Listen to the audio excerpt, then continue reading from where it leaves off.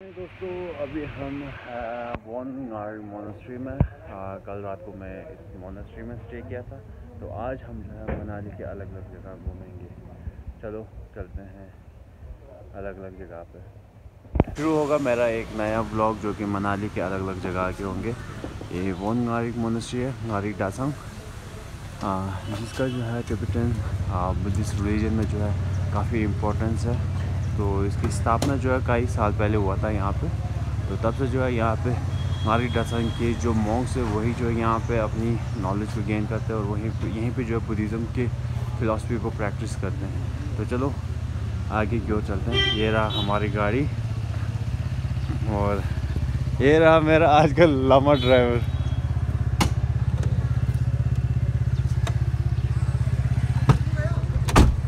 चलो भाई साहब कितने चलना है? शीशे डाउन इधर हाँ? शीशे डाउन कर मैं पहुँचा हूँ शिकारी गुम्पा में जो कि गुम्पा है। तो चलो मैं आप लोगों को शिकारी गुम्पा का व्यू दिखाता हूँ। बहुत ही खूबसूरत है। देखो यहाँ पे मानी डिंगू फिर उसके बाद दुखंग फिर उसके बाद यहाँ पे एक छोटा है।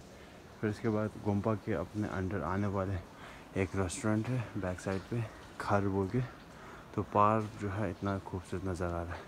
तो मेरे साथ है अभी गेलोंग लफ्जोंग कैसो तो हम दोनों अभी इधर आए हाँ। यहाँ पे मैं मैं लामत सुल्तान से मिलने। तो हम कुछ देर के लिए यहाँ पर रेस्ट करेंगे, फिर उसके बाद आगे की अलग अलग जगह को देखने जाएँगे। चारी गुम्पा जो है, इसकी लोकेशन बहुत अच्छी है, मगर थोड़ी सी हिल टॉप साइड पे तो यहाँ पर आने आने जाने का बहुत है। चलो, ये रहा चिटारी गुम्पा शायद से इधर से अलग अलग ब्लॉक से पता नहीं चला। अच्छा चलते हैं अंदर। ये खुली गई कर बूढ़ी के पीछे। चलो, चलते हैं चिटारी गुम्पा के अंदर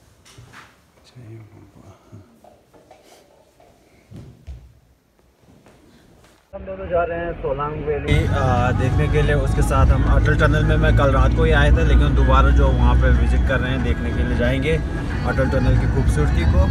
और अभी हम जो है, ओल्ड मनाली के ठीक नीचे से जा रहे हैं सोलांग वैली की ओर। चलो, आपको दिखाते हैं यहाँ के नज़ारे।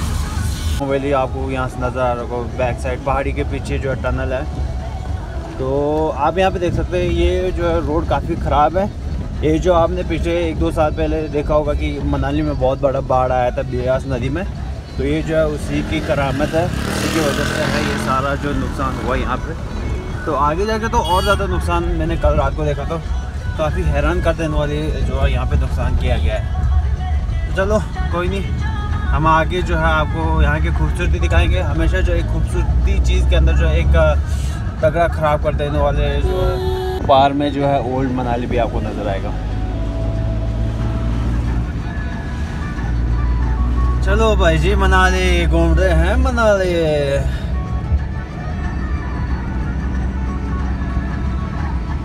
जो है मनाली की ओर वापस जाना पड़ा आधे रास्ते से क्योंकि हमारा एक साथी जो है वो भी आना चाहता है।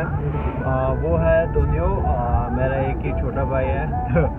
तो वो गुलाबड़ में आया था तो उस टाइम पर हमारा अच्छा खासा जान पहचान हुआ था यहाँ से कॉल किया तो कह रहे कि वो भी आना चाहते हैं।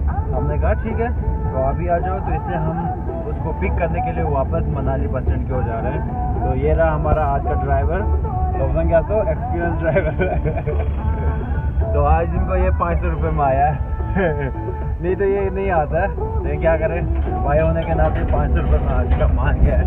तो चलो चलते हैं आगे की ओर मनाली बस की ओर। ज़िले इस बंदे को देखो। एक कहाँ से आ गया? या या ठीक है ना? ठीक है बढ़िया। या देख। कि वहाँ पे गर्छ पहुँच जो था जो ए? मैं अभी बिस्तर में था। तो दोस्तों अभी हम कहाँ से जा रहे हैं? ओल्ड मनाली से। ओल्ड मनाली से जा रहे हैं। ओल्ड मनाली पलचंग की तरफ़ जा रहे थे कहाँ के लिए? पलचन पलचंग की ओर जा रहे हैं। पलचंग से फिर हम सोलांग वैली की जो मेन रोड है वहाँ पे टच कर जाएँगे। तो यहाँ पे ट्रैफ़िक कम है इसलिए हम यहाँ से जा रहे हैं। अगर यहाँ पे ट्रैफ़िक हो जाए तो बहुत मुश्किल होगा निकालने में क्योंकि ये बहुत सिंगल रोड है। तो चलो अभी हम जा रहे हैं पलचंग आपको बिल्कुल सामने नज़र आ रहा है वहाँ पे हम निकलेंगे। चलो जी भाई सोचा हम बाइक किराए पे लेंगे मगर हम तीन बंदे हैं तो एक बाइक तो आएगा ही नहीं क्योंकि दो तो मोटे हैं एक तो पतला है उसका कोई फ़ायदा ही नहीं है। तो चलो चलते हैं पलचंग वैली की ओर तो चलो। तो हाँ? बाद जाएँगे। अजय फॉरेस्ट वालों की तरफ़ से। फॉरेस्ट डिपार्टमेंट की ओर से यहाँ पे एक पार्क बायो शायद से बायो पार्क बनाया हुआ है। तो उसके लिए हम शाम को जाएँगे। वक्त तो अभी हमारे पास बहुत है। आज पूरा दिन है, कल भी पूरा दिन है। तो तब तक हम जो है यहाँ के अलग अलग एरिया को घूमेंगे तब तक के लिए। तो चलो आगे चलते हैं। आगे आपको अटल टनल तक लेके चलते हैं। हम मनाली के एक टॉप जगह पे जा रहे हैं। कह रहे हैं कि यहाँ पे एक बहुत खूबसूरत झरना है। तो वहाँ पे जाएँगे। काफ़ी चढ़ाई पे है ये जगह। चलो चलते हैं आगे की ओर देखते हैं। देखो तो पार में मनाली की खूबसूरती जो आपको दिखाई देगा।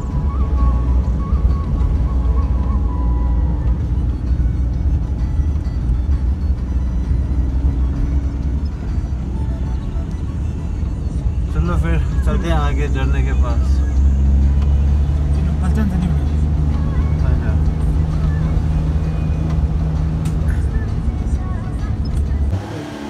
अभी हमें झरने के पास पहुँचा था मगर झरना नहीं है बहता पानी है ये अच्छा जगह ऊपर जाके है मगर देखने के लिए जगह अच्छा है बहुत यहाँ से।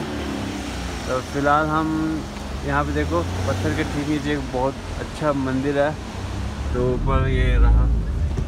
ऐसा एरिया पुल के साथ में ही नदी छोटा सा फिर उसके साथ ऊपर पहाड़ी।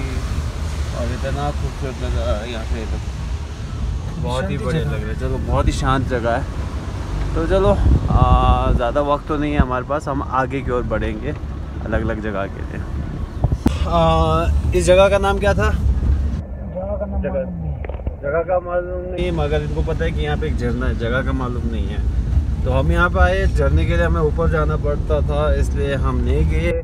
तो वापस अब हम जो है गाड़ी नीचे वापस रिवर्स करके सुलांग वैली के लिए निकलेंगे। वहाँ से फिर अटल टनल की ओर जाएँगे। तो चलो चलते हैं आगे बढ़ते जाएँगे। जहाँ हमें कुछ अच्छी नज़र या नज़ारे दिखे हम वहीं पर गाड़ी रोक के आप लोगों को वो नज़ारे दिखाएँगे। तो हमारे साथ जुड़े हैं लफ्जान दोनियो और लफ्जान ग्यासो तो चलो चलते हैं। अब हम सोला सोलान सोलांग वैली में एंटर कर चुके हैं। थोड़ा ही बचा है यहाँ से। पलचंग। पलचंग। क्रॉस करने वाले हैं। पलचंग एरिया को क्रॉस करके आप सोलह वैली में एंटर करने वाले हैं हाँ तो चलो।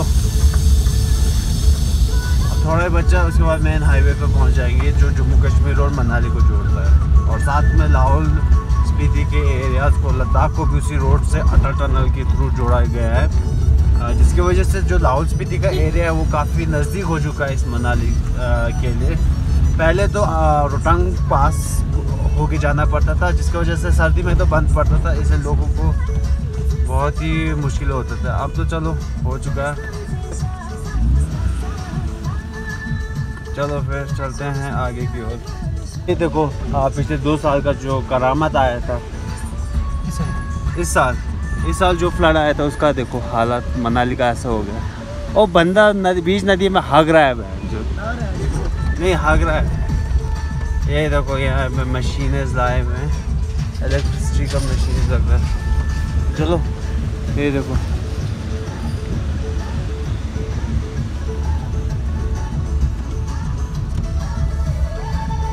चलो फिर चलते हैं अब अटल टनल की ओर।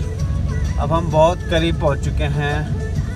यहाँ से एक दो मोड़ चढ़ाई चढ़ना है, फिर उसके बाद हम ये देखो, हमारा ड्राइवर काफ़ी एक्सपीरियंस ड्राइवर है। एक महीने का एक्सपीरियंस है इसको। हाँ भाई, डर लगा रहता है। मोड़ पे आते तो दिल जो है गले में आ जाता है। कोई नहीं, चलते हैं, इस पे भरोसा करके हम आगे बढ़ रहे हैं। ड्राइवर पे थोड़ा बहुत भरोसा करना चाहिए नहीं तो कहीं ठोक दे पता ही नहीं चलेगा। तो अब हम सोलांग वैली में एंटर कर चुके हैं। देखो सोलांग वैली रिजॉर्ट अब यहाँ से सोलांग वैली शुरू हो जाता है। फिर उसके बाद सोलांग वैली जैसे ही ख़त्म हो जाता है उसके बाद अटल टनल आ जाता है। फिर वहाँ से रटंगला के लिए भी आ, रास्ता है। तो चलो अभी हम सोलांग वैली के अलग अलग एरियाज़ में घूमेंगे। बहुत ही मज़ा आने वाला है आज का दिन। हमारे साथ है धोनियो। धोनियो तुम्हें मनाली में बैठ कितने साल हो गया दस साल हो गया? तो क्या एक्सपीरियंस किया? यहाँ पे बैठ के। अंधेरे में बैठ बैठ के बेचारे को चश्मा लग चुका है। चलो फिर। आगे की ओर चलते हैं। कोलांग वैली। कोलांग वैली की खूबसूरती देखो यार। क्या ही मज़ा है। मान लो कि हम अपने गाँव में आ चुके हैं, वैसा ही फीलिंग है। मगर यहाँ पे कनेक्टिविटी अच्छा है, एक टूरिस्ट इलाका है, जिसकी वजह से यहाँ की इम्पोर्टेंस जो है, लोगों के बीच और ज़्यादा हो चुका है।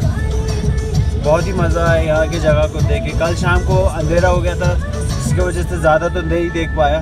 मगर आज अच्छा धूप है, साथ ही साथ जो यहाँ की हरियाली है, वो भी काफ़ी हरा भरा है, और नज़ारे भी काफ़ी खूबसूरत लग रहे हैं यहाँ देखो।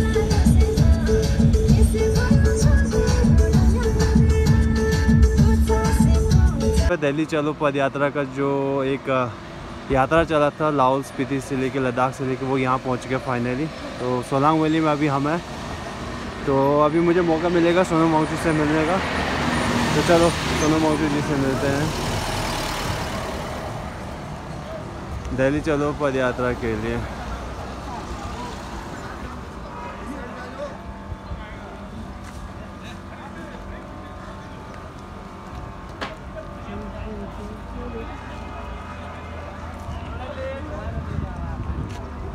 तो ये रहा दिल्ली चलो पद यात्रा का चल रहे हैं। अभी सोना मोचू जी से अचू जिगमत सभी से मिले। तो वो सारे यहाँ सोलांग वैली में पहुँच चुके हैं। तो वो यहाँ से जो आगे की ओर जाएँगे, दिल्ली की ओर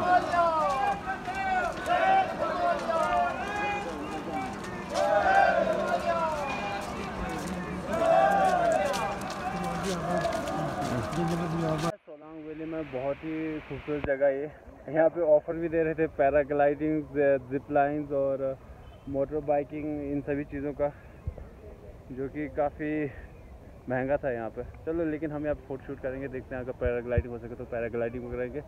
लेकिन एक अच्छी बात यह है कि मुझे यहाँ पे सनो मोंगटू जी से मिलने का मौका मिला। आ, वो जो है आप सभी को पता है कि आजकल दिल्ली चलो पद यात्रा के सिलसिले में यहाँ से यात्रा कर रहे थे लद्दाख से दिल्ली तक। तो आज वो सोलह वैली से गुजर के जा रहे तो ठीक सोलंग वैली के ठीक नीचे ही जो है उन्होंने अपना लंच और उसका रखा हुआ प्रबंध किया हुआ है। तो चलो चलते हैं यहाँ सोलंग वैली का देखते हैं। तो ये रहा सोलंग वैली का एक छोटा सा स्पोर्ट्स हब यहाँ पे आपको हर चीज़ मिल जाएगा आ, राइडिंग के लिए। तो ये देखो सारे लोग जो राइड कर रहे हैं यहाँ पे फॉरेनर्स भी है इंडियंस भी है साउथ इंडियंस भी है। तो चलो ये दोनों देखो। मैं, मैंने दो सस्ता लामा लिया है अपने साथ। एक के पास एक पैसा भी है दूसरे के पास पाँच सौ रुपये बचा शायद लेकिन यहाँ पे काफ़ी महँगा है, थोड़ा सस्ता होता तो ले लेता। हाँ तो ये देखो, अब अटल टनल के लिए हम यहाँ से निकलेंगे। अटल टनल यहाँ से 11 किलोमीटर की दूरी पर है। तो चलो, निकलते हैं अटल टनल की ओर।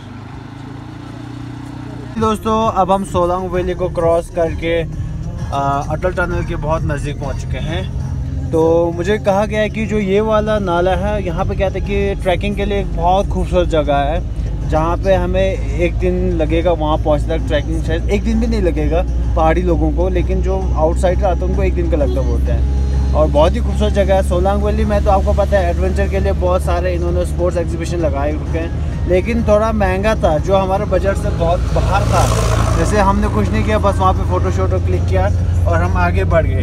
अभी हम जो है अटल टनल के बहुत करीब पहुँच चुके हैं। लगभग यहाँ से एक किलोमीटर दूरी के बाद हम पहुँच जाएँगे अटल टनल के पास। तो यहाँ की खूबसूरती जो है, लाजवाब है। एक चुम्बेश्वरी वाली जगह है ये तो। ये देखो, बाहर देखो। हम आज बहुत ही एक अच्छा दिन भी था कि मुझे सोनम वांगचुक सर से भी मिलने का मौका मिला। आप सभी को पता है, दिल्ली चलो पद यात्रा जो उन्होंने खास कर जो अपने लद्दाख के नेचर और जो लाहौल स्पीति की नेचर है, उसको बचाए रखने के लिए एक एनवायरमेंटल कैंपेन शुरू किया है, दिल्ली चलो पद यात्रा के नाम से। तो आज मुझे वो सोलांग वैली में मिला। इतनी खूबसूरत जगह पे एक बहुत ही प्रख्यात इंसान के साथ हमें मिलने का मौका मिला और उनसे बात किया अच्छा लगा। तो उसके बाद हम यहाँ निकल चुके अगर हमें यहाँ से जल्दी वापस आ जाते हैं तो फिर से उनसे एक बार सोलांग वैली में मिलेंगे। आ, मुझे कहा गया है कि उनका लंच जो है सोलांग वैली से थोड़ा सा पहले जो है एक दो किलोमीटर पहले जो है बनाया गया है।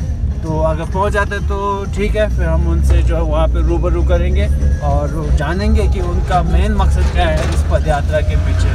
तो चलो आगे की ओर बढ़ते हैं हम लोग अटल टनल की ओर। कल रात को तीन बजे तक सो के बैठा। इसलिए अभी वो गाड़ी में सो रहा है तो एक दो एक दो लापट पड़ा तो अभी देखो जाके पूरा होश में आ गया। तो चलो फाइनली अब हम अटल टनल में पहुँच चुके हैं देखना चाहते हैं आप सर अटल टनल ये देखो। ये देखो अटल टनल रोहतांग के पास है ये अटल टनल तो यहाँ पे देखो अटल टनल बहुत ही खूबसूरत जगह है ये। सभी जो टूरिस्ट है यूट्यूबर्स है सारे यहाँ पर आके इस टनल का फ़ोटो खींचे इसको जी बोलो हम इसका गेट का जो है एक फ़ोटो लेंगे। बहुत ही खूबसूरत ये टनल बनाए गए देखो। Atal tunnel Rohtang south portal है ये। अल्टीट्यूड जो है दस हज़ार चालीस फीट पर है जो कि काफ़ी हाइट पर है। अटल टनल के उस बार जो है थोड़ा सा गर्मी रहता है। अब जैसे इस टनल को पार करके हम लाहौल स्पीति एरिया में आ जाते हैं तो वहाँ पे सर्दी जो है एकदम से बहुत ज़्यादा बढ़ जाता है। तो चलो, ये रहा अटल टनल का। इस साउथ साइड से हम नॉर्थ की तरफ़ जा रहे हैं। तो चलते हैं आप सभी के साथ अटल टनल के अंदर तक। मेरे दोस्तों, अब हम अटल टनल के नॉर्थ फेस तक पहुँच चुके हैं। नॉर्थ फेस जो है सीसू की ओर ओपन होता है, जो कि लाहौल स्पीति के डिस्ट्रिक्ट में आता है। तो हम वहाँ पे पहुँचने वाले हैं। देखो, इस साइड जैसे ही आया ड्राई हवा का बहना स्टार्ट हो चुका। ड्राई हवा जो काफ़ी ठंडी हवा है। तो कल तो बारिश था, जिसकी वजह से और ज़्यादा ठंड था। अभी यहाँ पे हम पहुँच हैं नॉर्थ फेस में, ये देखो। वेलकम टू लाहौल स्पीति चलो जी, पहुँच गए हम लाहौल स्पीति के एरिया में।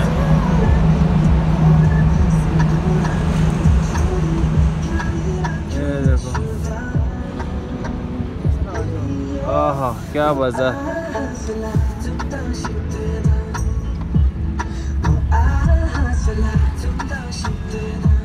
ये देखो, जो रोटंग लकेल रास्ता है, वो वहाँ से है।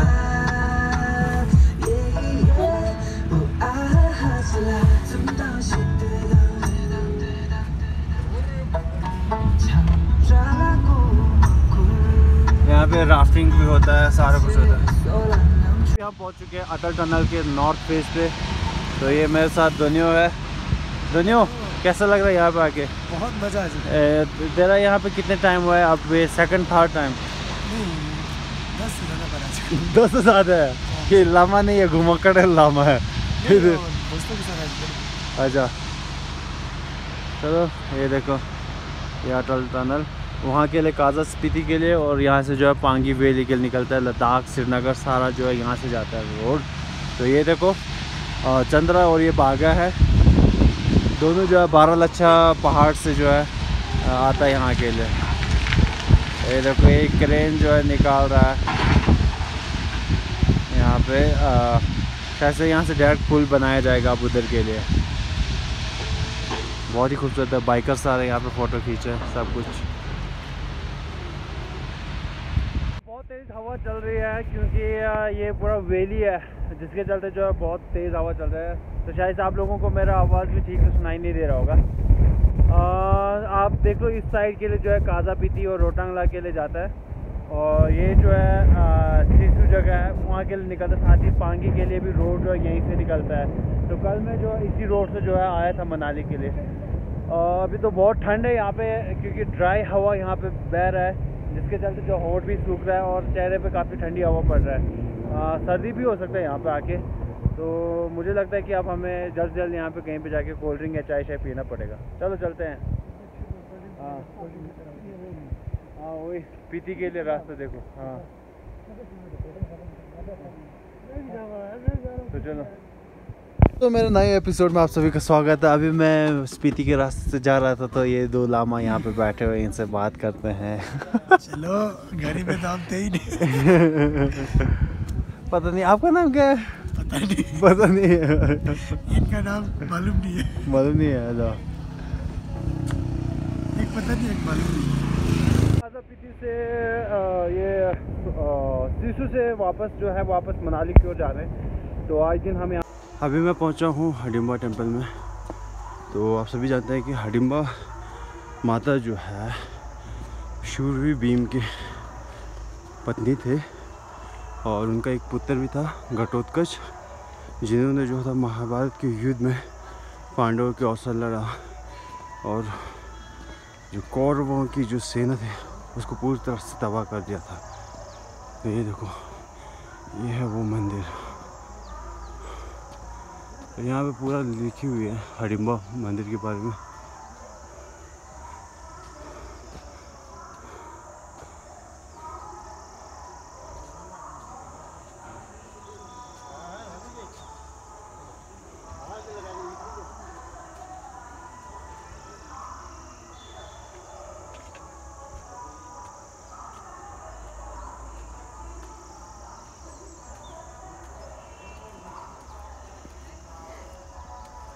जो हरिम्बा और शूरवीर भीम है, उन दोनों की मिलन का भी एक अनोखा जो है कहानी है, जिसमें हडिम्बा और भीम भी जो है लड़ाई करते हैं। और जब जी, भीम जीत जाता है तो हडिम्बा जो है उनसे प्रेम करने लगते हैं। तो इसी के चलते जो है उनका एक पुत्र भी हुआ, जिसका नाम शूरवीर घटोत्कच था तो ये रहा हडिम्बा मंदिर। हाँ बहुत ही खूबसूरत जगह है। थोड़ा सा चढ़ाई करना पड़ता है यहाँ पे। हालाँकि यहाँ पे गाड़ी भी है। तो मैंने बाइक बुकिंग किया हुआ था मगर बाइक का क्या हुआ कि अभी उसका शॉप खुला नहीं था। इसलिए मैं पैदल चलाया यहाँ तक। तो मुझे बहुत अच्छा लगा यहाँ पैदल आते हुए। चलो आपको ऊपर का नज़ारा दिखाता हूँ।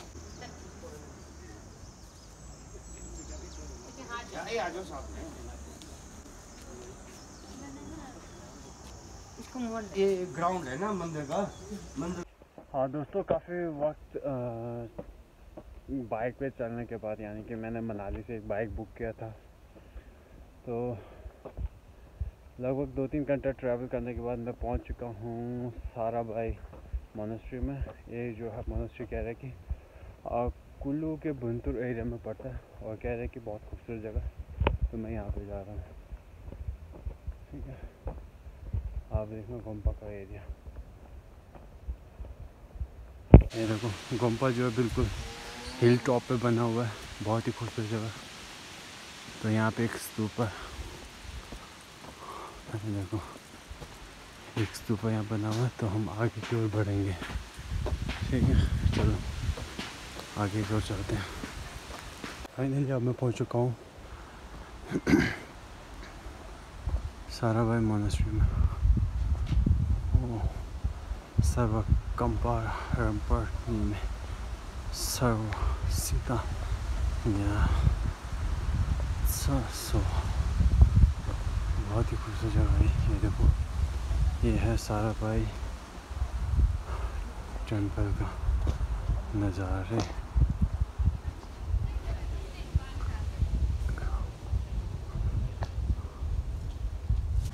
अभी देखो गुम्बा का नज़ारा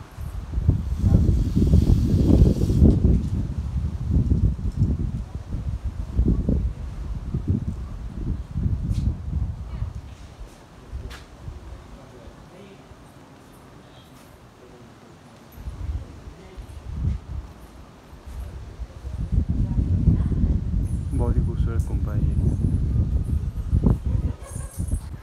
यहाँ से फार में भी नज़र आ रहा है पूरा बुंतू शहर के ऊपर बंतुर शहर के ऊपर बसा है ये गुम्बा कि अच्छे अच्छे खोल लें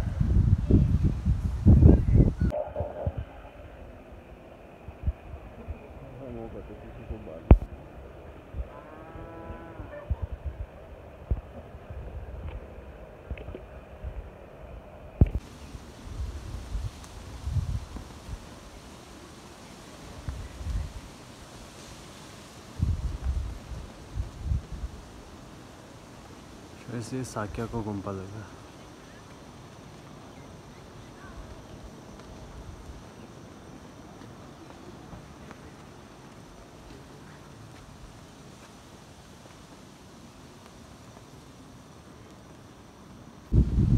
अभी मैंने इस मंदिर के अंदर मैंने दर्शन किया।